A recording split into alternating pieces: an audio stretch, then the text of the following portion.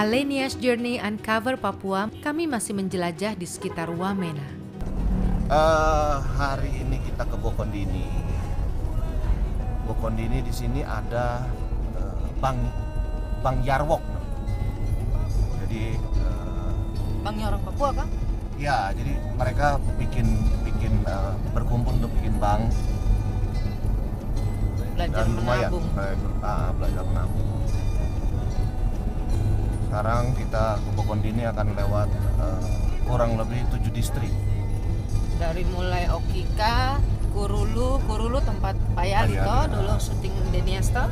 Terus ada Wosi, ada Yalenka, Bolakme, Tagime, Kelila, Eragayam, baru Bokondini. Bokondini.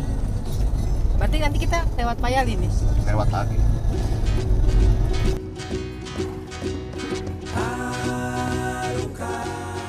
Wamena adalah pusat ekonomi dari Daerah-daerah di Pegunungan Tengah. Tengah.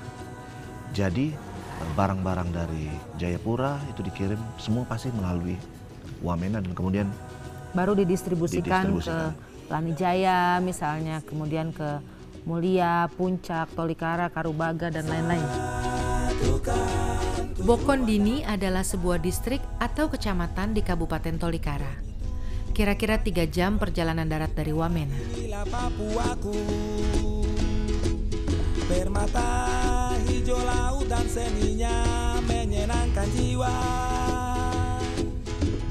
Banyak pujian dan kekaguman budaya dan alam.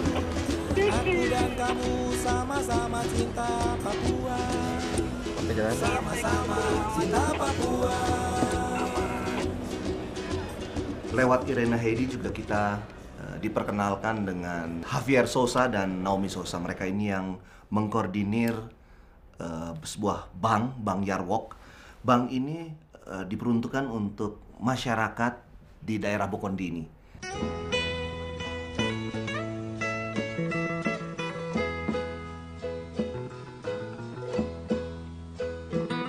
Ini istri saya Naomi.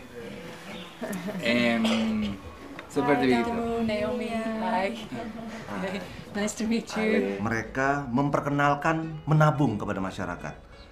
Dan ketika kita datang ke sana, eh, kita juga di, di- langsung diperkenalkan dengan ini apa? eh, Direktur Mama banknya. Kepala Bank di Bokondini. kepala banknya, Kalau Bank Yarwok. iya, Ibu Direktur, Ibu Direktur Bank.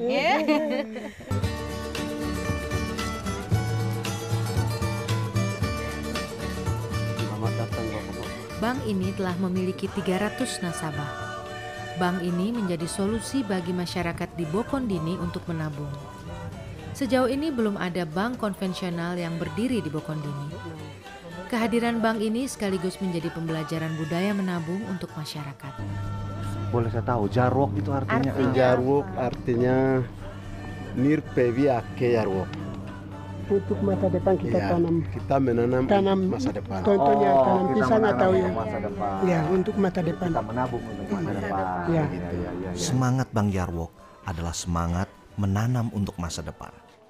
Semangat menabung itu seperti menebar benih harapan untuk dirawat, ditumbuh kembangkan hingga suatu saat nanti sahabat-sahabat Papua bisa memetik hasil yang dicita-citakan bersama.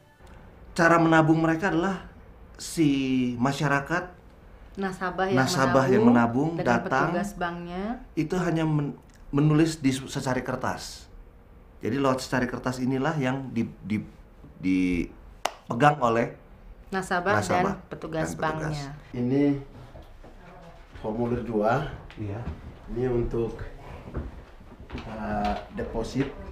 Setiap nasabah datang deposit, deposit itu formulir 2. Mhm. Terus mereka mau buka baru Iya. itu formulir 1.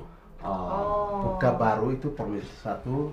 Uh, sebagai bukti Iya. itu kita biasa kasih kertas kecil begini. Oh, bukan buku. Ya bukan buku. Kalau Jadi untuk sudah- simpan ya. Untuk simpan Iya, sudah berapa untuk sim- tabungannya Iya, dengan ini? Iya. Jadi setiap hari mereka dapat uang menabung di sini. Setiap setiap hari kita kasih begini terus. Jadi ini yang harus disimpan. Iya, ini yang harus Ya. disimpan. Dikasih Oke. nasabah mereka simpan juga. Iya, iya, iya. iya, Jadi iya. setiap hari mereka menabung, bawa ini buktinya. Kenapa mau menabung? Iya. Kenapa mau menabung? Oh kan ini orang kena ini lu mati uang dia. Jangan sampai terbakar kalau di rumah. Oh iya iya. Duit simpan di sini. Takut hilang. Betul betul. Jadi biar disimpan di sini ya. Iya. Biar aman semua begitu ya. Sudah sudah berapa lama menabung di sini? Mana kali membuat ini. Ci- Tiga kali. Sudah tiga kali datang menabung ya? Bagus ya. Terima kasih. Wah, wah, Ini wah, uang wah. negara me. Aku yang buat ini kan ada tambah sama ya pun dia gue konggaran itu inabuan gue nomor nenek lo ya kue ni lo eh lo kau lo eh lo mau batiwan lo kue Kami dari petani susah. Oh, Kami iya. usaha sedikit-sedikit dapat sedikit itu yang kami simpan di tempat aman. Iya. Yang desa, yang pegawai itu punya gaji besar. Itu Oh. mereka jalan tidak apa-apa, tapi kami petani kasihan jadi kami simpan di sini. Betul, betul, betul. Harus begitu. Hebat, hormat. Ya dari tanggal 5 November tahun 2013 sampai sekarang so, ada 300 lebih pemilu rekening. Sudah banyak ya? Sudah banyak. So itu itu satu sebab dan dan juga orang orang bisa menyimpan uang untuk investasi lagi pembuatan roti atau toko atau mau beli ojek kan membiayai anak-anak cara pendidikan di sini atau pergi ke Jayapura, Jakarta. So ada beberapa hal pengaruh positif dari bank ini. Sudah ada yang pintar buat roti di sini. Ya, Oh ya? saya melatih 60 ya 60 ibu Bikin roti. bikin roti di dapur di sini. Itu bulan pertama waktu baru tiba di sini. Dalam dalam proses untuk merencanakan kegiatan ke depan secara partisipatif, satu hasilnya bahwa oke kita bisa bikin roti untuk generasi ini uang sendiri. Tadi katanya di eh, anak-anak juga ditabung. Iya, Mama sudah Ada bukakan tabungan untuk anak-anak. Kaya kawel ko ambe inum kaya kawel ko inum poko mengkara lega Ti na pure lo wat ko la ko me no po lo na we lo. Te ko la ko me un ko ya no ambe nda me mu ambe kita. Iya, anak-anak cucu saya, keponakan saya, mereka sekolah. Jadi memang saya sudah menabung untuk mereka lagi anak-anak saya, keponakan saya. Bagus ya. Tabung untuk anak-anak cucu-cucu bisa sekolah ya.